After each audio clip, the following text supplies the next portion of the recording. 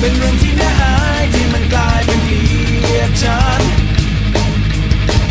ความอิจฉาคือสิ่งใดขึ้นอยู่ที่ใครจะใช้มัน คงอยากเป็นฉันฟูฟ้า